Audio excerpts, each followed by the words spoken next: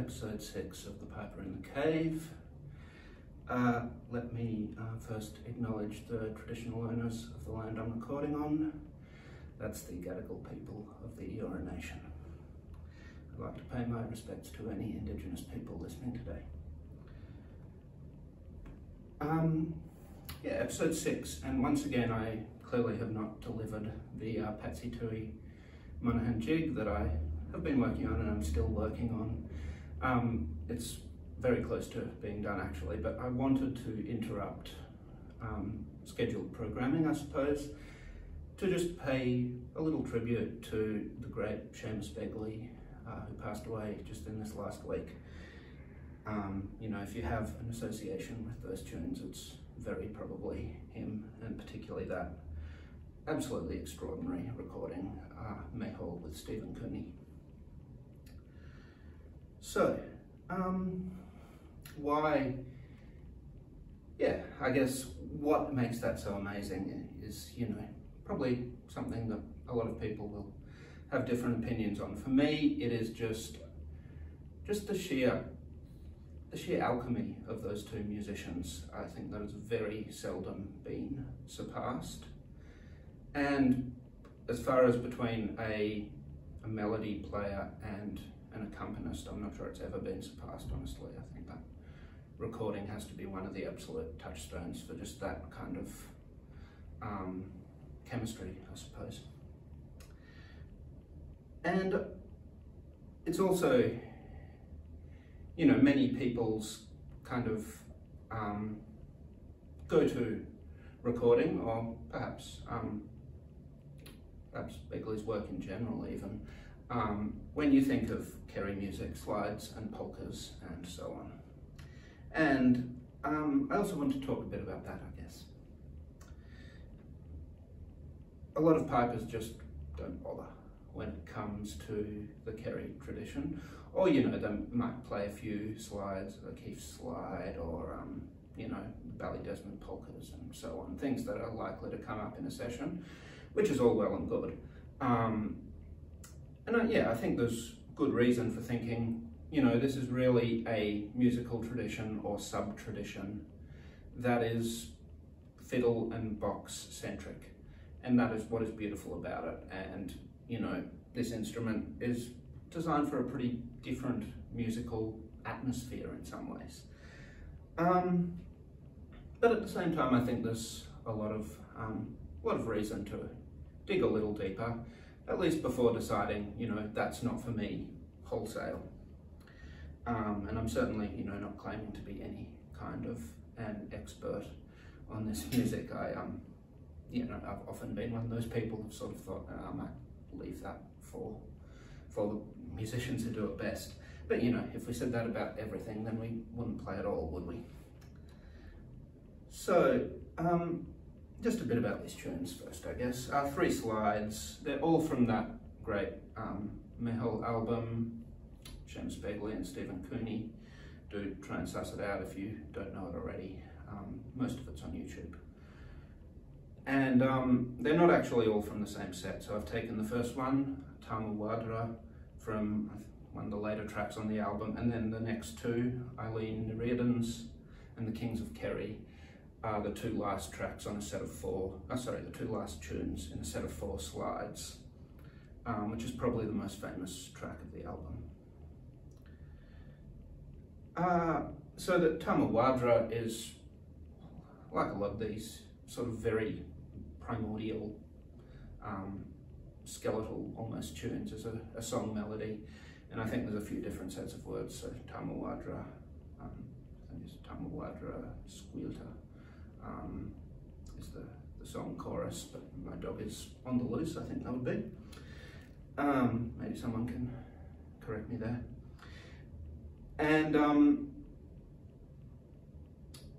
yeah, they, they even sing a chorus of that song on that recording too, which is really nice, interspersing it with the verse played as an instrumental. And um, because it's a song, that's sort of my justification for what I was doing there in playing it without repeats and also ending on the first part, on the A section.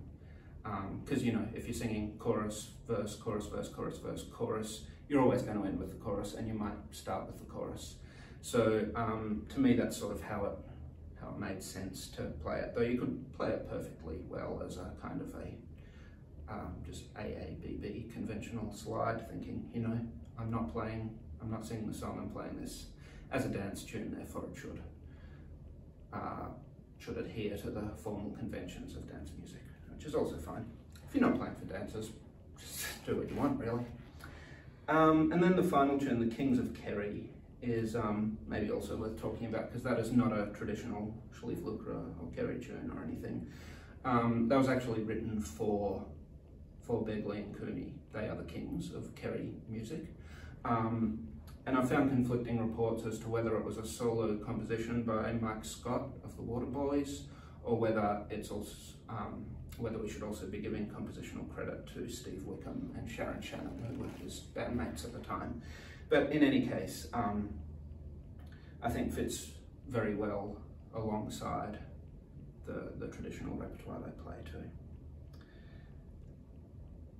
Uh, and I have changed a few keys, as I often will in approaching music on the pipes. You know, the Kings of Kerry would be played, as it often is, in A, and I think given that um, that Seamus is playing, I think a D, D sharp box actually sounds in B flat.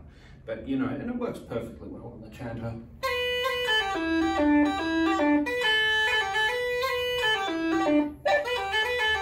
Something like that. Um, you know, in a session, absolutely play it in that key. But I kind of, I wanted to bring in the regulators there and have a lot more options if it's in G.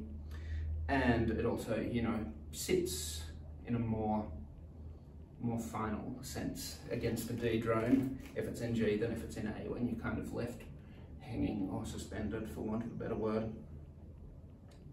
Great. Okay, some thoughts on slides in general, how we might approach these on the pipes. Um, and I think the first thing to be aware of is that while there is a lot of there's a very grey area between slides and jigs, and a lot of tunes will um, will work either way and are traditionally played in both ways. And a lot of times also people will say, well, you know, perform slides in the repertoire sense, largely using a jig rhythm. And that also tends to work fine because they're good tunes, they're gonna work. Um, but this album, you know, this is real slide stuff. They're almost unmistakable um, as jigs, in a sense. And I think that presents some pitfalls if you're um, if you're playing them. One is I'm playing them a lot faster than I normally play. I'm not a fast player, and that was probably a slightly uncomfortable tempo for me. But I felt it was necessary to kind of capture the feeling of the slide and, and even more so the feeling of that album, where there is just this kind of incredible um, propulsion and drive to it. Not saying I successfully captured the feeling of that album, but that's what I was going for. And when you start doing that, things, um, you realize what will and won't work in terms of when you can get away with using some some jig tricks that you probably have more of than slide tricks and when it doesn't. So the one I want to mention first is I think um, not using too many rolls can really help um, help things feel a bit more slidey. And um, so what I mean there, probably give an example.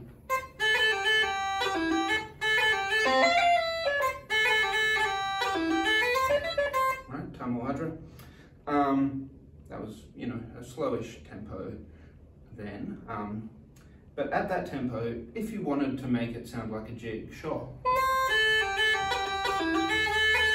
sorry.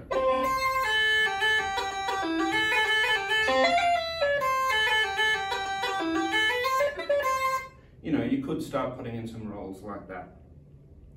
But I feel um, the rolls are a very gentle, gentle kind of, um, what's the word? There's a, a word for that. Gentle sort of meandering feel they often have. and I feel the slides are just a bit more gutsy in some sense. Um, you know, rolls, if you're gonna if you're gonna lilt your sort of thing, you know, diddly diddly, all of that stuff. But I feel it's a much more articulated sort of feel that's going on here. Um, and if you listen to to Begley's phrasing, very often when he is playing um, playing all three notes,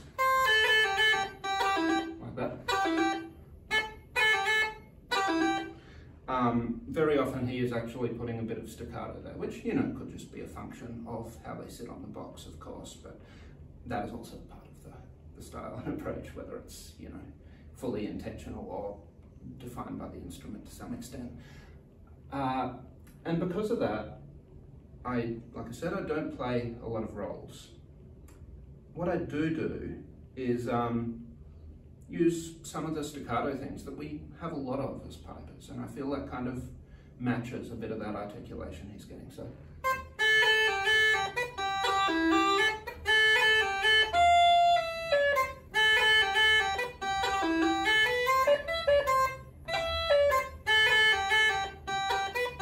Right, I'm doing a ACA triplet there.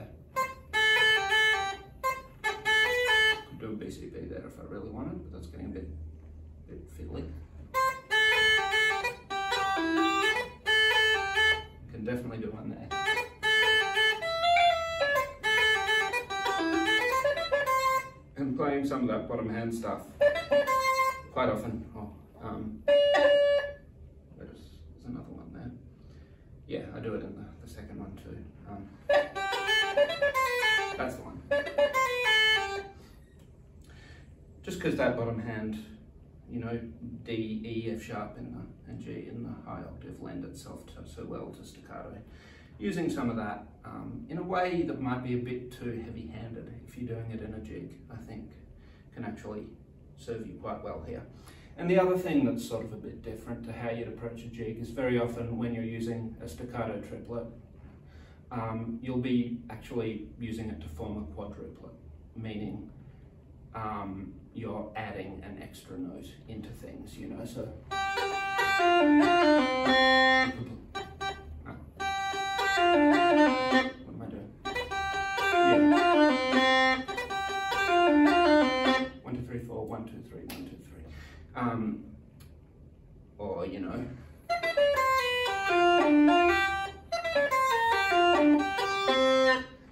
Too. One, two, three, four, one, two, three, one, two, three, one. Um, Whereas here, because of the tempo, I think that would kind of almost get in the way of the feel, if, even if you could get that cleanly, and I couldn't. Um, but that means you can just sort of use them as a one-to-one -one replacement of the, the triples that occur naturally in the melody.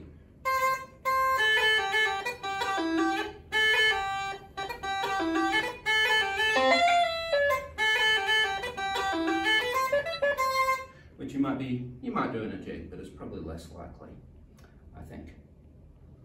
So I think because you have this kind of arsenal of little staccato figures like that, that can actually be a real asset in playing this music on the pipes. And um, it's worth exploring, you know, even if that comes from quite a different impulse, those um, staccato things, which are perhaps more of a a um, ornate sort of thing than this music requires or benefits from. Um, I think the same kind of techniques and just learned vocabulary can assist here. Uh, one other thing I want to talk about is just a rhythmic thing here. And I'll use maybe the same, uh, same tune there, Tama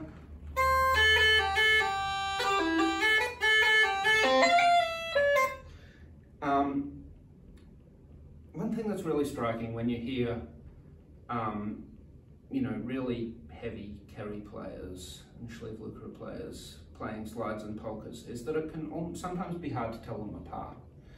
Um, so, you know, your um,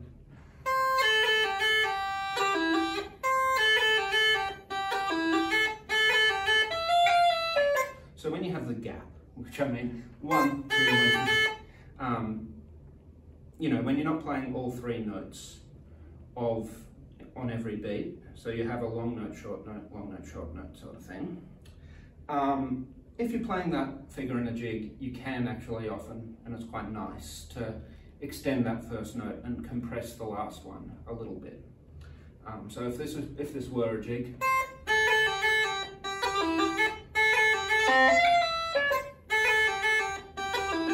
exaggerating slightly there, but that can be a nice little um, subtle modification of the rhythm and melody there. I think it's death to a slide and you want to do the opposite often. You want to push that second note, make it longer so they're almost even.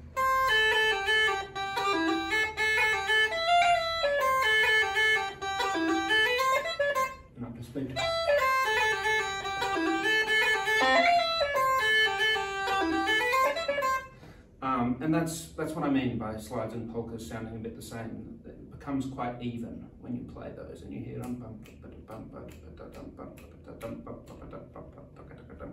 it's quite a similar rhythm in the end. And another place um, I think I'm trying to emphasize that is in the second tune, Eileen Riordan's. So you have that and trying to make it to da da da da again I think will interfere with that slide rhythm so.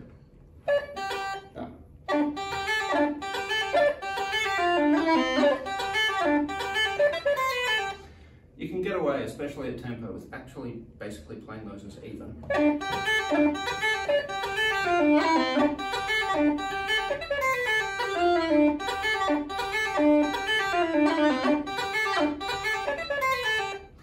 Um, to me, when you have those phrases where you do have a few notes with the gap or two notes per beat, however you like to think of them, in a row especially, you can really kind of use that to check in to having this bass rhythm that you want um, and make sure you're not letting habits from playing a different style of music um, with a different approach slip in. Um, and just one final thing I want to talk about, which is not remotely, well, not specific to uh, slides and this kind of repertoire, but has a connection, I think. Um, it's a technique thing, but I think I was doing a lot of them on those low E's in Eileen Riordan's, and even on, I'm doing something different now, I'll talk about both. So that's like a really, really compressed cran. Only two, two grace notes there. No, that was three. That's what I'm talking about. Um, so what I'm playing is, so the, the fingers I'm lifting there are the G and the A. And trying to really just get that as tight as possible. So like not tight as in piping tight, like as close as possible. Um,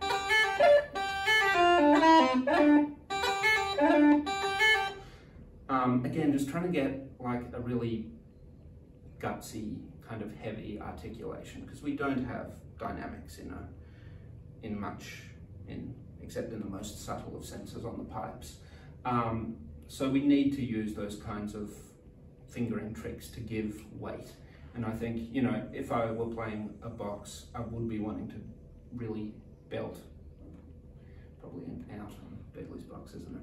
But either way, I would be wanting to really um, emphasize that with the bellows. Can't do it with these bellows. So I'm trying to use a fingering trick to give that, that impression of a really heavy, emphasized, weighty articulation um, in a sense. And a slightly different one I'm doing that is gives a similar result, but just fits differently under the fingers is in Kings of Kerry. Yeah, so what I'm doing there.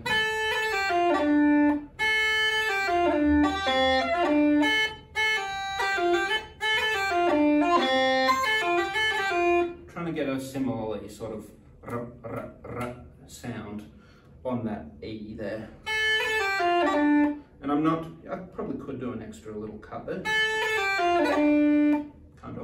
Um, what I'm actually doing is delaying a regular cut. So there's just a single cut there, but I'm letting the E sound for a fraction before I let that cut happen. So rather than being a clean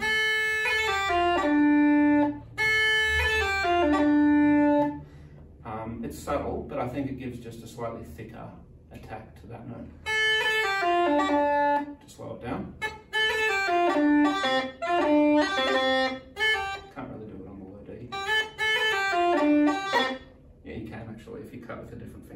Thought of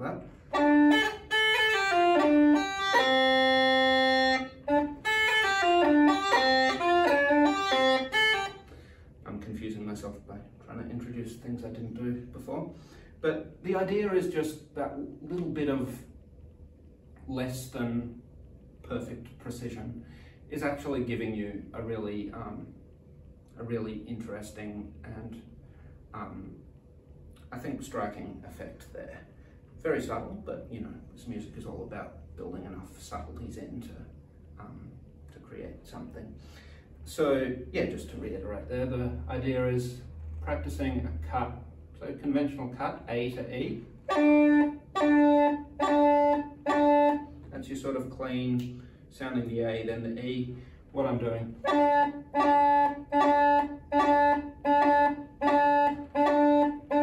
Is letting the E sound for a fraction before that. It's easier to do in context actually. Just be a little bit lazy with your fingers if you are, um, if you are um, perhaps more precise than me, because um, I just do it instinctively. But if you do um, aim at really getting those cuts as clean as possible, and that is an entirely noble and wonderful aim, mess around with making them a bit less perfect, because sometimes that might work in your favour. Yeah, I think that's all I wanted to talk about today. Um, hopefully, yeah, you've enjoyed this little excursion. Please do check out um, all of Seamus Begley's music you can find because it's extraordinary. Um, and I did want to yeah dedicate this to to his memory and just this incredible impact he's left on the tradition. But thank you for uh, tuning in, and um, I will do that uh, Patsy Touhey when I jig uh, quite soon. So I'll see you then. Thank you.